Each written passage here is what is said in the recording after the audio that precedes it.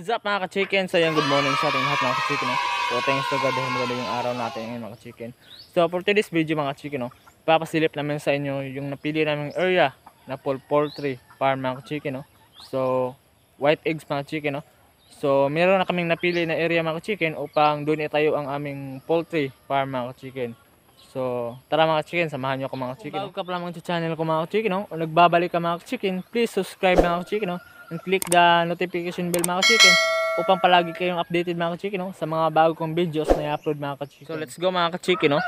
So, ito yung aming main area mga chicken, no? Ito yung ating pre chicken mga chicken. So, yan yung area dito mga chicken, no? So, malaki to mga chicken, no? Yan. Yan mga chicken. So hanggang doon pa yan mga chicken. So dito tayo mga chicken no.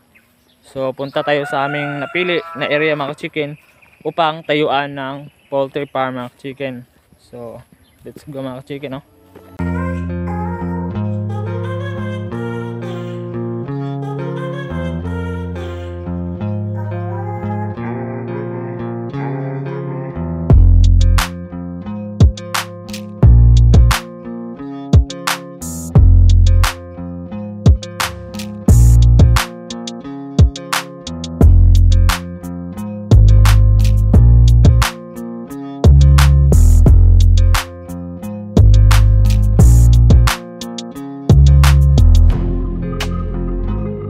Na tayo mga chicken no. So malayo din sa ating pre chicken mga chicken. So may dis distansya din itong area na to mga chicken no. So ito yung napili namin mga chicken no with a partnership of Pilmico mga chicken no. So nagpunta yung Pilmico technician dito mga chicken no upang sila yung magpili kung saan yung magandang area mga chicken no. At dito mismo nila nagustuhan mga chicken. So itong area na to mga chicken no na nasa video mga chicken. So nasa higher area talaga tayo mga chicken no. So nasa baba yung sagingan mga chicken no. So koreano yung may-ari niya mga chicken no. Planta ng mga saging mga chicken. So nasa taas tayo mga chicken no. Upang safe din sa ating mga manok mga chicken kapag nag spray sila mga chicken no. Or naglalagay sila ng medisina sa sagingan nila mga chicken. So yun ang mga chicken no. So ito yung napili na area mga chicken. So, ang ilalagay namin dito mga chicken is 1,000 heads na mga manok mga chicken, no? Ah, uh, yun nga sinabi ko mga chicken na with the partnership of Pilmico Feeds mga chicken, no? So, sila yung magsusupply sa atin ng manok mga chicken at the same time mga chicken, sila yung magsusupply din ng feeds mga chicken, no? So, at magkanda ng seminar para sa ating mga worker mga chicken, no? Kasi mga chicken, ah, uh, mas maganda talaga yung meron tayong seminar mga chicken, no?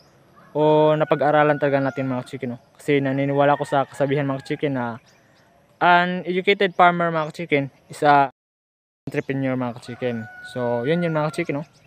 So, maganda yun mga chicken. So, dito talaga yung area mga chicken. No? So, saktong-sakto mga chicken. So, mga chicken. No? So, dito namin nilagay sa likod ko mga chicken. No? Sa, dyan sa area na yung mga chicken, sa may kalabaw mga chicken. So, dyan namin nilagay ang poultry farm mga chicken. So, kasi dito sa area namin mga chicken, no? Uh, or lugar namin dito mga chicken sa Davao Oriental mga chicken, uh, specific area in Governor Generoso mga chicken, no? Uh, wala pang mismong poultry farm dito na nag-operate mga chicken, no? So, kami pa lang yung first na mag-operate dito mga chicken, no? So, sa awan ng Diyos mga chicken, so maging successful ito mga chicken, no? Upang kami na mismo ang magsusupply dito sa aming lugar mga chicken no? or sa kalakip namin na municipality mga chicken no? ng ito mga chicken. So hindi na nila kailangan pang umangkat sa malayong lugar mga chicken no? upang magkaroon sila ng supply ng itlog mga chicken. So malapit dahil sa amin mga chicken no? so malapit na or abot kamay na nila yung uh, itlog mga chicken no? so at sa mas murang halaga pa mga chicken no? kasi nasa with on the municipality lang tayo nag-operate mga chicken no? so meron tayong mga discount mga chicken so sa pagdating ng panahon mga chicken so yun lang mga chicken no? so yan yung pinakamagandahan mga chicken no? kapag dyan sa area nyo mga chicken is wala pang nagtatayo ng poultry farm mga chicken no? so simulan nyo na mga chicken so para kayo na mismo yung supplier dyan sa inyong lugar mga chicken so ayan mga chicken so tapos na tayo mga chicken no?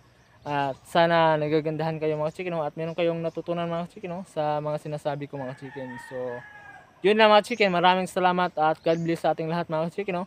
So, happy farming tayo mga chicken. So, update ko kayo next vlog mga chicken kapag simulan na itong ah, igawa mga chicken or under construction na mga chicken. So, bye-bye mga chicken. We'll be back in the morning when the sun starts to rise. So mama, don't stress your mind. So mama, don't stress your